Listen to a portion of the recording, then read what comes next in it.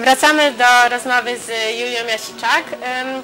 Powiedz nam w takim razie o swoich e, planach na przyszłość związanych z biżuterią.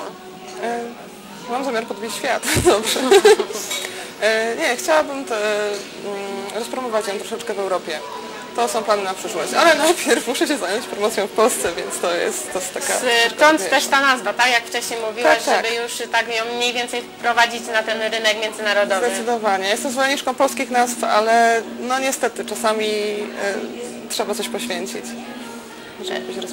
Dobrze, a tak y, bardzo krótko tylko powiedz o tym muszę zapytać y, na stronie, na Twoim fan, y, fanpage'u na Facebooku, na który serdecznie zapraszamy, jest zdjęcie z Zombie Boyem.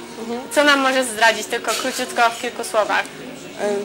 Pożyczył, znaczy właśnie, e, m, fotograf, który robi mi kampanię teraz w poniedziałek, wtorek, miał teraz Jacek Narkielun.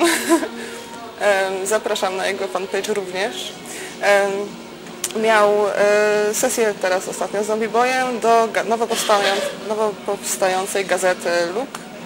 E, W lutym właśnie będzie premiera tej gazety e, i zostałam zaproszona na udos- udostępnienie biżuterii do tej I sesji. tak właśnie Zombie Boy promuje teraz zobaczyć, y, Twoją biżuterię. No nie do końca. Ale tak, uczestniczyłam też w tej sesji. Gratulujemy bardzo i, i życzymy ogromnych sukcesów. E, Dziękuję Ci bardzo za spotkanie. A Państwa już jutro zapraszam na 17.30 do programu Open Night.